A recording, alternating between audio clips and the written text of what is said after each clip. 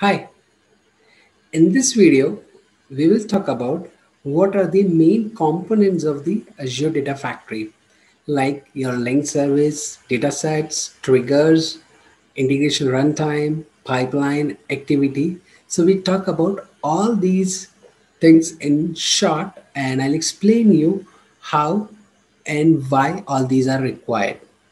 So I'm Deepak Goyal. I'm having decade and over experience on IT industries in big data field and cloud.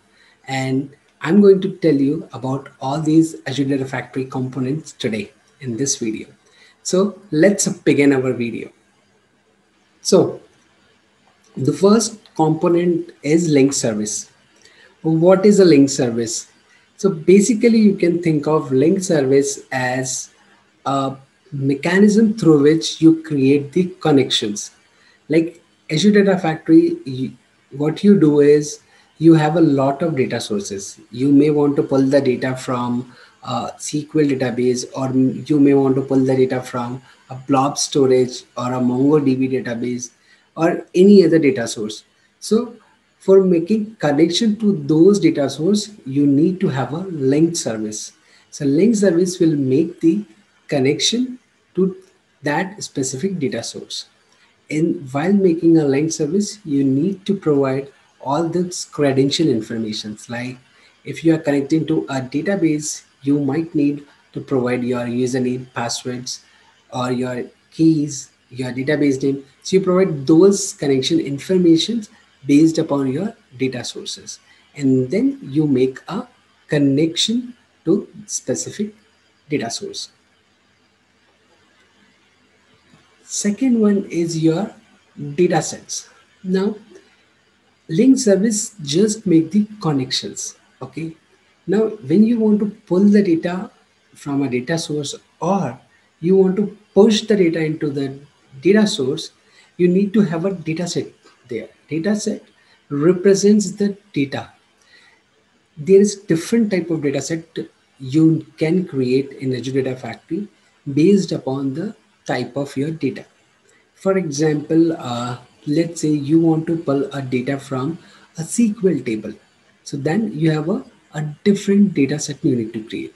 If you want to pull the data from your MongoDB, then you need to create the data set for a MongoDB. If you want to pull the data from Azure Blob Storage, you need to create the data set which represent the blob storage data eventually when you create a data set it needs to make a connection.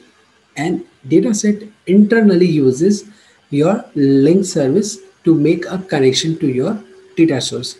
Here you can see that for example uh, for getting the data from a blob storage you need to have a blob link service.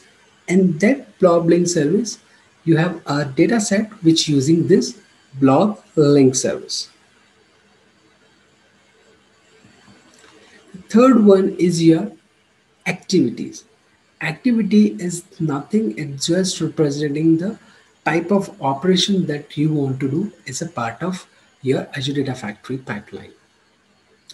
Activity could be of multiple types. For the most common one is your copy activity where you want to take the data from one data source and you want to push the data to other data source.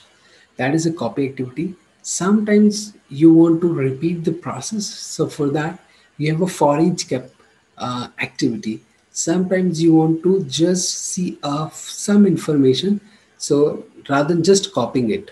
So you use a lookup activity. You can also have a if else activity where you want to take the action based upon some if else conditions. So there are multiple types of um, activities provided which you can use as per your need Then you have a pipeline. So pipeline is nothing, it's just like a grouping up of your uh, multiple activities together to form a workflow. And that is called as your pipeline. So for example, you want to pull the data from uh, blob storage and you push into the uh, Azure SQL database. So you need to create a all these components as, as mentioned and this has been created one copy activity. So basically this entire chain is called as uh, your pipeline. Okay. Next one is your integration runtime. Integration runtime is basically your the someone who provides you this computation power to do all these operations. For example, link service just create the connection.